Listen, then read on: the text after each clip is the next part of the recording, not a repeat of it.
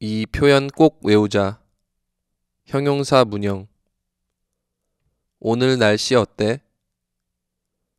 오늘 날씨 어때? 今天天气怎么样? 오늘 날씨 너무 추워. 今天天气很冷. 어제는 조금 더웠는데. 昨天有点热. 더웠어? 나는 조금 추웠어. 热吗?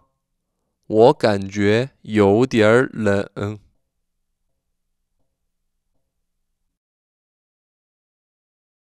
음식 맛은 어때? 음식 맛은 어때? 饭菜的味道怎么样? 너무 매워. 很辣. 가격은 어때? 价格怎么样? 가격도 약간 비싸. 价格有点贵.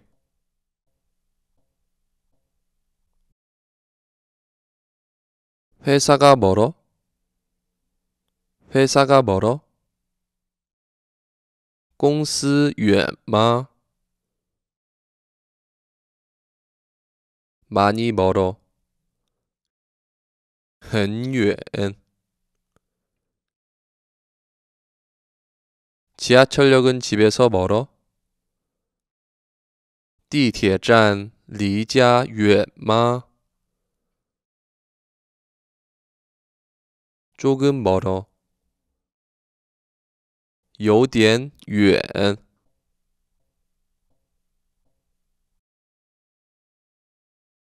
학교 환경은 어때? 학교 환경은 어때?